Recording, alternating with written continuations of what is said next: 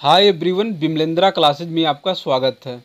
UP लेखपाल DB update 22 सितंबर DB update अच्छा खासा डीबी स्किप हो रहा है। कितने अभ्यर्थियों ने डीबी स्किप किया? एसटीएफ ने संदिग्ध छात्र को दबोचा। सारी जानकारी मेरे पास है। आप वीडियो में बने रहिए।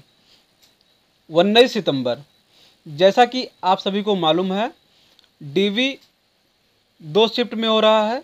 एक शिफ्ट में साढ़े तीन सौ अभ्यर्थी को बुलाया जा रहा है। तो दोनों शिफ्ट मिलाकर सात सौ अभ्यर्थी बुलाए जा रहे हैं। सात सौ में छः सौ बयालीस अभ्यर्थी डीवी करवाए हैं। अट्ठावन अभ्यर्थी डीवी स्किप किए हैं उन्नीस सितंबर को। बीस सितंबर को सात सौ अभ्यर्थी में पाँच सौ अठहत्तर अभ्यर्थी डीवी करवाए हैं। एक सौ बाईस अभ्यर्थी डीवी स्किप किए हैं। इक्कीस सितंबर को 700 में 580 अभ्यर्थी डीबी करवाए हैं 120 अभ्यर्थी डीबी स्किप किए हैं। 22 सितंबर को 700 में 588 अभ्यर्थी डीवी करवाए हैं 112 अभ्यर्थी डीवी स्किप किए हैं।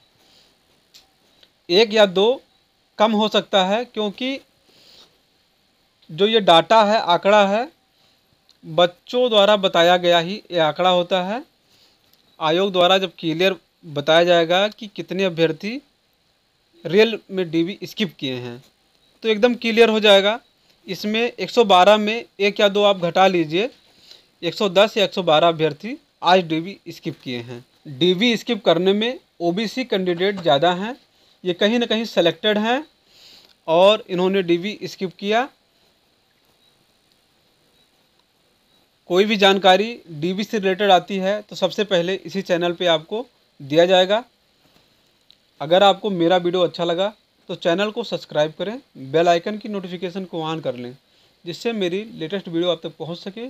धन्यवाद, आपका दिन शुभ हो।